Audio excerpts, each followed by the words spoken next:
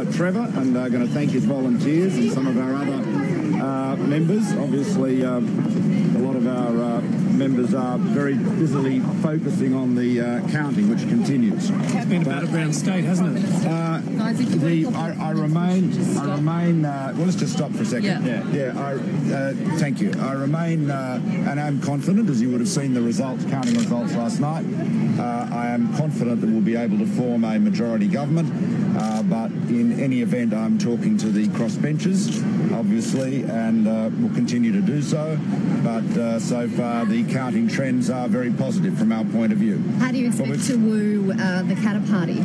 Well, I'm going to uh, have d- direct discussions with Mr. Katter, and uh, so I'll be seeing him later today. Will you be meeting with Miss Hanson while you're here?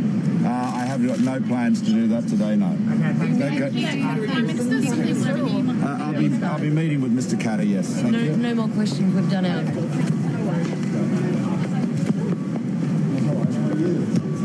Okay, so that was the uh, Prime Minister there in Brisbane. Looks like he's in the Queen Street Mall in Brisbane just a short time ago. He's up there to have a chat to Independent MP Bob Katter later today and saying there that uh, the trends continue to be positive with the vote count and he's still hopeful of uh, forming a majority government.